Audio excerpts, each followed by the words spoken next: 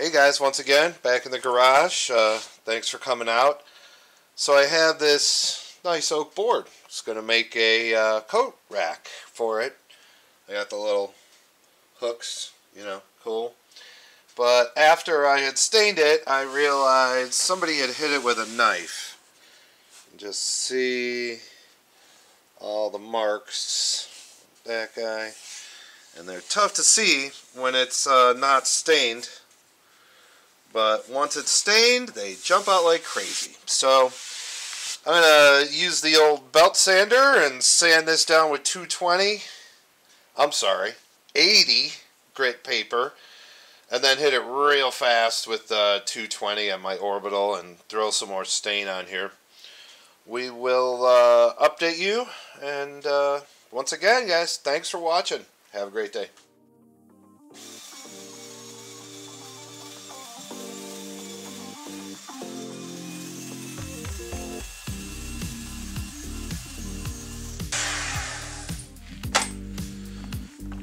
Alrighty.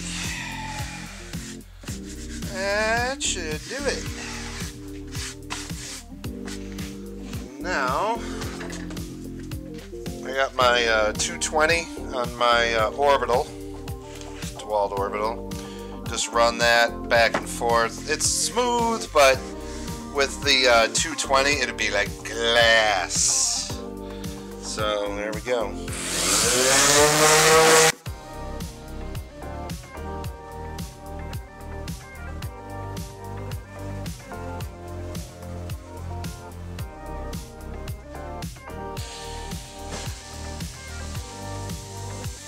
Alrighty.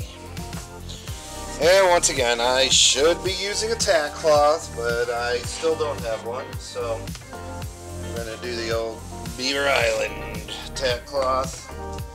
Wipe this junk off of here.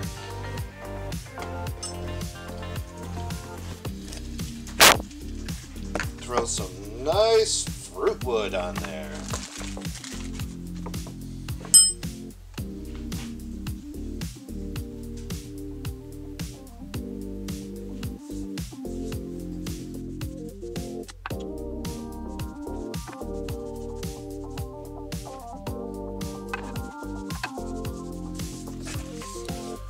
See the fruit wood really brings out the nice color in the oak. And this is just like staining the uh, countertop. I want a little more color on this guy. This is a different color than the countertop, but um, the more I uh, the more I let it sit, darker it's going to get.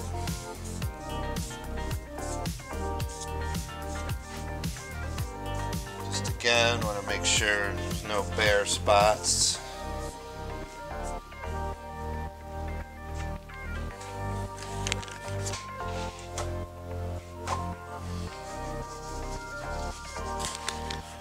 And then just paper towel it off.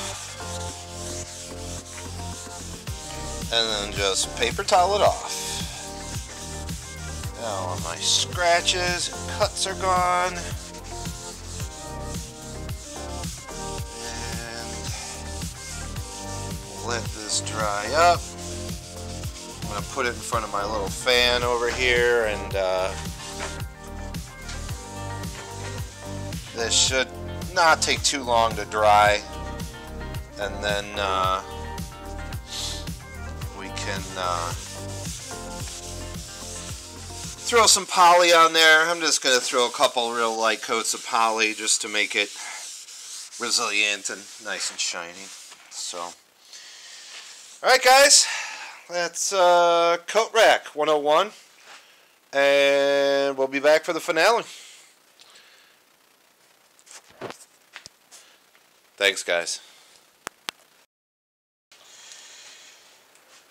Okay, we are finishing up our coat rack.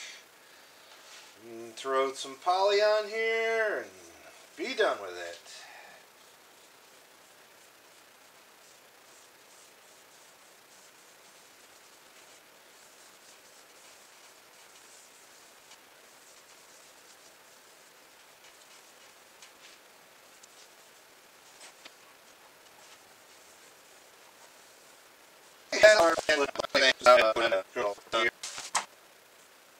So, yeah.